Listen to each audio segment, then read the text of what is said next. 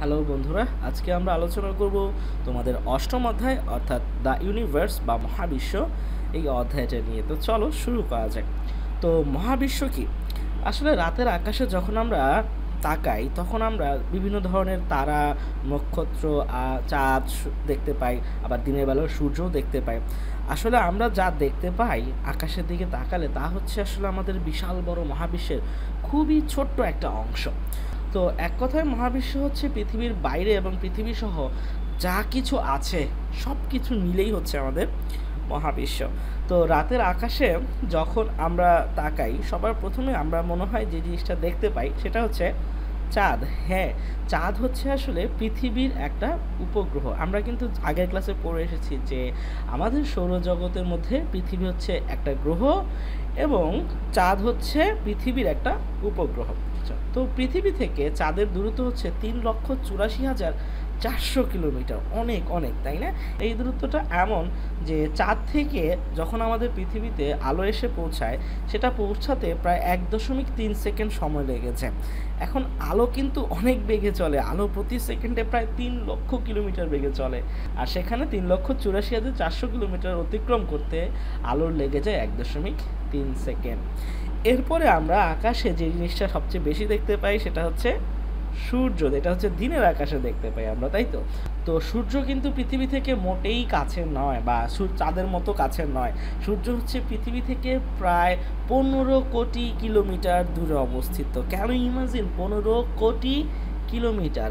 এত দূরত্বে সূর্য থেকে আলো আমাদের পৃথিবীতে এসে পৌঁছাতে প্রায় আট মিনিট সময় লাগে। চিন্তা করতে পারছ?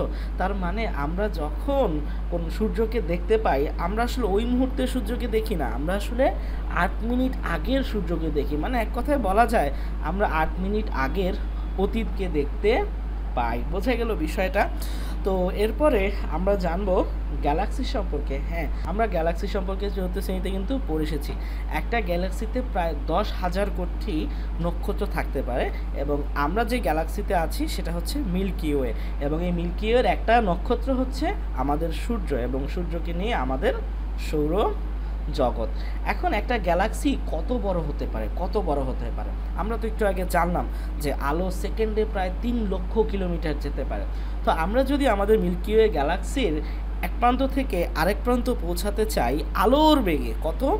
আলোর বেগে। তাহলে আমাদের প্রায় এক লক্ষ তিরিশ হাজার বছর সময় লেগে যাবে এক প্রান্ত থেকে আরেক প্রান্ত পৌঁছতে আলোর বেগে। তাহলে চিন্তা করে দেখো, একটা গ্যালাক্সি কত বড় হতে পারে।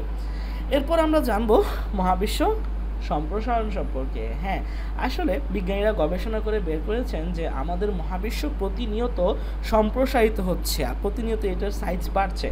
এবং এই জন্য আমরা এখনও পর্যন্ত আমাদের কোনো ধারণা নেই, আমাদের কোনো আইডিয়া নেই আমাদের মহাবিশ্ব কত বড়। কারণ আমরা এখন পর্যন্ত আমাদের মহাবিশ্বের শেষ পর্যন্ত হয়তো সম্ভবত দেখতেই পাইনি। কারণ সেখান থেকে আলো এসে আমাদের পৃথিবীতে পৌঁছাতে পারেনি। কারণ এটা এতটাই দূরে, এতটাই দূরে। তো আমরা আসলে মহাবিশ্বের কয়েকটা ছোট ছোট জিনিস সম্পর্কে খুব সংক্ষেপে কিছু তথ্য জানলাম। বাট মহাবিশ্ব আসলে বিশাল বড় একটা জিনিস। আমরা যদি মহাবিশ্ব নিয়ে বিস্তারিত আলোচনা করতে চাই, তাহলে আমাদের যে জিনিসটি নিয়ে পড়াশোনা করতে হবে সেটি হচ্ছে জ্যোতির্বিজ্ঞান। হ্যাঁ জ্যোতির্বিজ্ঞান হচ্ছে আসলে মহাকাশ সম্পর্কিত গবেষণা করে। বিজ্ঞানীরা মহাবিশ্বকে জানার জন্য বিভিন্ন ধরনের প্রযুক্তি, যেমন দূরবীক্ষণ যন্ত্র, তারপর হচ্ছে মহাকাশ দূরবীক্ষণ যন্ত্র ব্যবহার করেন।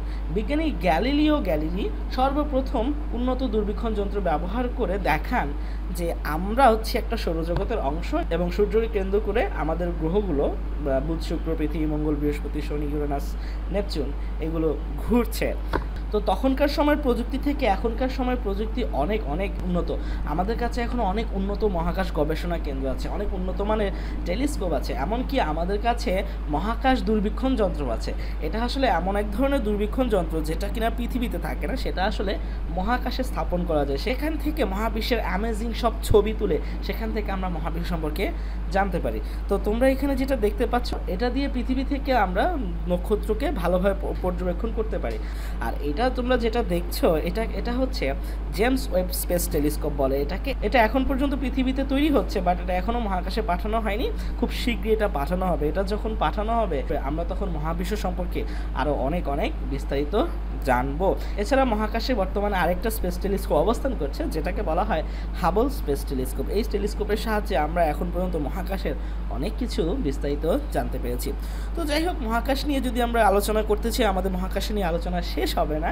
আমরা আপাতত এতক্ষণ ধরে যে তথ্যগুলো জানলাম, সেগুলোই আমরা মনে রাখার চেষ্টা করব। তো এরপরে আমরা যে জিনিসটা নিয়ে আলোচনা করব, সেটা হচ্ছে পৃথিবীর গতি। হ্যাঁ আমাদের পৃথিবী কিন্তু সৌরজগতে স্থির না। আমরা জানি আমাদের পৃথিবী সূর্যের চারপাশে ঘুরছে। তো সূর্যের চারপাশে পৃথিবীর যে পথে ঘুরে সেটাকে বলা হয় পৃথিবীর কক্ষপথ এবং পৃথিবীর যেই ঘোরাটা এই ঘোরাটাকে বলা হয় বার্ষিক গতি। কারণ এই সম্পূর্ণ একবার ঘুরে আসতে পৃথিবীর ঠিক তিনশো পঁয়ষট্টি দিন ছয় ঘণ্টা সময় লাগে, যেটা আসলে এক বছরের সমান। আসলে এই ঘোরার উপর নির্ভর করে আসলে বছর কত দিনে হবে সেটা নির্ধারণ করা হয়েছে। তো তোমরা একটা জিনিস খেয়াল করে দেখো, এখানে বলা আছে কি যে এটার ঘুরে আসতে একবার কয়দিন সময় লাগে? সম্পূর্ণ ছ, তিনশো পঁয়ষট্টি দিন, ছয় ঘণ্টা। বাট আমরা তো বছর হিসেব করি তিনশো পঁয়ষট্টি দিনে, তাই না? তাহলে বাকি ছয় ঘণ্টার কি হলো? আসলে খেয়াল করে দেখো, এরকম যদি চারবার পৃথিবী ঘোরে, তাহলে কিন্তু চারশো চব্বিশ ঘণ্টা আরও অ্যাড হয়, তাই না? আর এই কারণেই প্রতি চার বছর অন্তর অন্তর আমরা যখন লিপিয়ার পালন করি, তখন আমরা ফেব্রুয়ারি মাসের একদিনকে বাড়িয়ে ধরি মানে আঠাইশের মাসকে আমরা উনত্রিশে মাস ধরি, এই কারণে যাতে হিসাবে কোনো গণ্ডগোল না হয়। তো আশা করি এই জিনিসটা তোমরা আগে জানতে না, এখন জানলে। তো আমরা পৃথিবীর বার্ষিক গতি সম্পর্কে জেনে গেলাম। এরপর আমরা জানব পৃথিবীর আনিক গতি। হ্যাঁ পৃথিবী কিন্তু কেবলমাত্র সূর্যের চারপাশে ঘোরে না, সে আবার নিজের অক্ষের উপরও এইভাবে এইভাবে ঘুরতে থাকে। একটু খেয়াল করে দেখো, সে কিন্তু একটু বাঁকাভাবে ঘুরে না? হ্যাঁ এই যে রেখাটা, এটাকে বলা হয় ঘূর্ণন অক্ষ মানে একটা বস্তু যখন ঘুরে, তার ঠিক মাঝে মাঝে একটা রেখা কল্পনা করা হয়, যেটাকে আমরা বলি ঘূর্ণন অক্ষ এবং তোমরা দেখতে পাচ্ছ যে পৃথিবীর ঘূর্ণন অক্ষটা একটুখানি বাঁকা। এটা আসলে প্রায় তেইশ দশমিক পাঁচ ডিগ্রির মতো বাঁকা থাকে। তো এই যে গতিটা, এই গতিটাকে আমরা বলি আহ্নিক গতি এবং পৃথিবীর তার নিজের অক্ষের উপর এই যে ঘূর্ণনটা, এটা সম্পূর্ণ একবার সম্পন্ন করতে পৃথিবীর সময় লাগে তেইশ ঘণ্টা ছাপ্পান্ন মিনিট, যা কিনা একটি দিনের সমান। এভাবেই আসলে দিনের হিসেব করা হয়েছে যে চব্বিশ ঘন্টায় একদিন, বুঝতে পারছি আমরা? তো এরপরে আমরা জানব যে আমাদের পৃথিবীতে দিন রাত কীভাবে হয়। তোমরা যদি একটু ভালো করে খেয়াল করে দেখো যে এখানে এই যে তোমরা এই ছবিটা খেয়াল করে দেখো, এই যে পৃথিবী নিজ অক্ষের উপর ঘুরছে। এই দিকটা আলোকিত, এই দিকটা কিন্তু অন্ধকার, তাই না? কেন অন্ধকার? কারণ এই দিকটায় সূর্য আছে, এই দিকটায় সূর্য নেই। তো এখন খেয়াল করে দেখো, যখন পৃথিবীর এই দিকটা সামনে আসছে, সেই দিকটা আলোকিত হচ্ছে, আর যে দিকটা ঘুরে পিছনে চলে যাচ্ছে, সেই দিকটা অন্ধকারাচ্ছন্ন হয়ে যাচ্ছে। তো এই আলোকিত অংশই হচ্ছে আসলে দিন, এবং এই অন্ধকারাচ্ছন্ন দিকটাই হচ্ছে আসলে রাত হ্যাঁ। এভাবেই আসলে আমাদের পৃথিবীতে দিন এবং রাত সংঘটিত হয়। যদি পৃথিবী নিজ অক্ষের উপর না ঘুরত মানে পৃথিবীর যদি আর্নিক গতি না থাকতো, তাহলে আমাদের পৃথিবীতে দিন রাত সংগঠিত হতো না। এইভাবে প্রতিদিন যদি সূর্য উঠতো না, সূর্য ডুবতো না। তার মানে আমরা বুঝতে পারছি যে আর্নিক গতির সাথে সূর্যোদয় এবং সূর্যাস্তের সম্পর্ক আছে। হ্যাঁ দেখো এখানে আমরা আরও ভালো বুঝতে পারছি। এক পাশ দিন হচ্ছে, আবার এক পাশ রাত হচ্ছে। এখন আমরা সবাই জানি সূর্য কোন দিকে ওঠে, সূর্য কিন্তু পূর্ব দিকে ওঠে, তাই না? এখন কেন এরকম মনে হয় আমাদের কাছে? আসলে সূর্য পূর্ব দিকে উঠলেও আমাদের পৃথিবী কিন্তু পশ্চিম থেকে পূর্ব দিকে ঘুরতে থাকে, পশ্চিম থেকে পূর্ব দিকে। আর এই কারণেই আমাদের কাছে পৃথিবীতে বসে মনে হয় যে সূর্য পূর্ব দিকে উঠছে। বুঝতে পারলাম, আশা করি আমরা বুঝে গিয়েছি।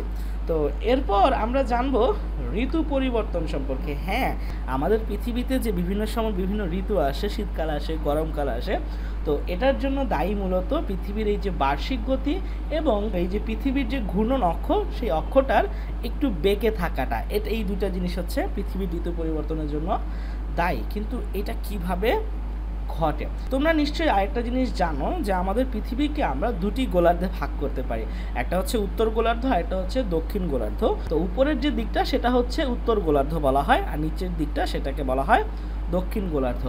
এখন তুমি একটু ভালো করে খেয়াল করে দেখো যে যখন এই পৃথিবীটা এই জায়গাতে থাকে, তখন তার উত্তর মেরুটা সূর্য থেকে একটু দূরে থাকে। বাট যখন পৃথিবীটা এই জায়গাটায় থাকে, এই জায়গাতে আসে, তখন তার উত্তর মেরু বা উত্তর গোলার্ধটা সূর্য একটু কাছাকাছি চলে আসে। তার মানে আমরা বুঝতে পারছি যে এই পৃথিবীর বার্ষিক গতির কারণে পৃথিবীর উত্তর গোলার্ধ কখনো দূরে চলে যায়, সূর্য থেকে আবার কখনো কাছে চলে আসে। ঠিক একইভাবে আবার দক্ষিণ গোলার্ধ কখনো দূরে চলে যায়, যেমন এখানে দূরে চলে গিয়েছে, আবার এখানে তুলনামূলক কাছে চলে আসে।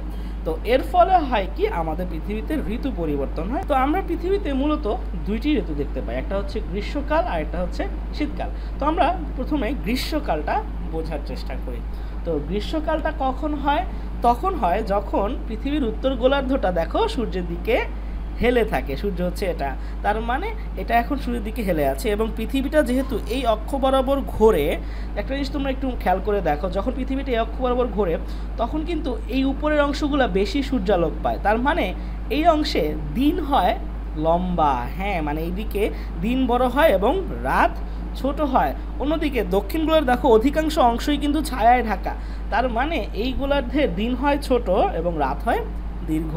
এবং দিন যখন দীর্ঘ হয়, তখন সেখানে গ্রীষ্মকাল হয় এবং রাত যখন দীর্ঘ হয়, তখন সেখানে শীতকাল হয়। কারণ আমরা জানি দিনের বেলাতেই পৃথিবীতে আমরা সূর্যের তাপটা পাই। তো তাপ যেহেতু দিনের বেলা বেশি সময় ধরে উত্তর গোলার্ধে পেয়ে যায় এই কারণে তখন সেখানে গ্রীষ্মকাল বিরাজ করে এবং দক্ষিণ গোলার্ধে তখন সেখানে শীতকাল বিরাজ করে।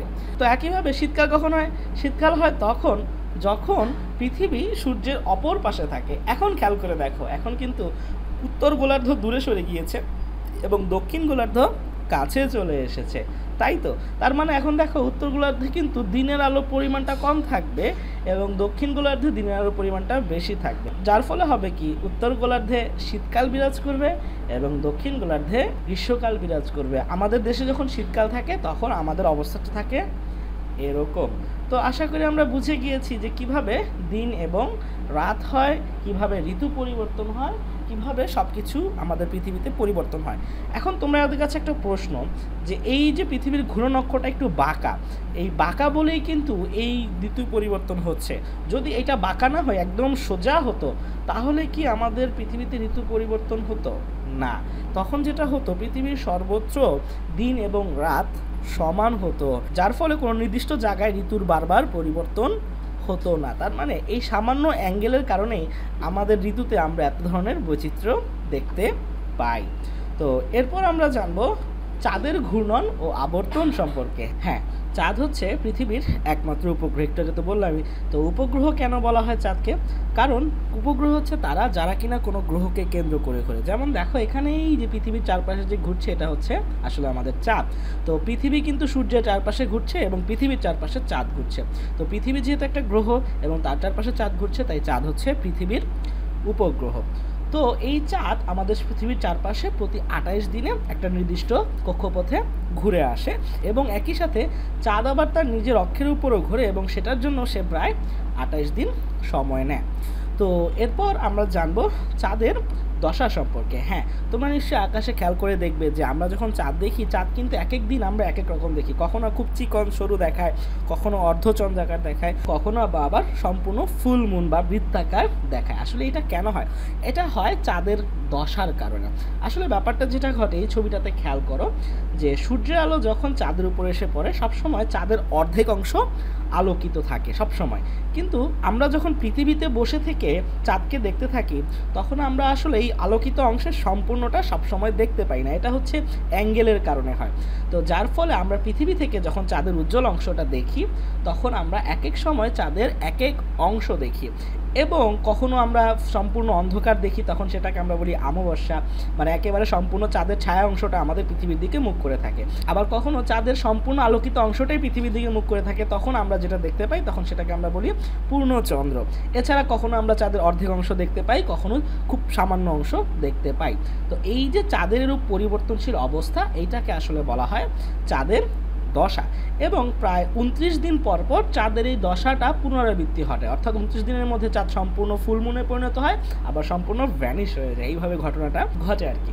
তো এরকম চাঁদের আটটি দশা রয়েছে। তো আশা করি তাহলে আমরা বুঝে গিয়েছি যে কেন গোটা ব্যাপারটা এরকমভাবে ঘটে। এবং এর সাথে আসলে আমাদের এই চ্যাপ্টারের আলোচনা এখানে শেষ হয়ে যাচ্ছে। তো আজকের মতো আমি আহসান এখানেই সাইন অফ করছি। সবাই ভালো থাকো, সুস্থ থাকো। দেখা হচ্ছে পরের অধ্যায়। টাটা।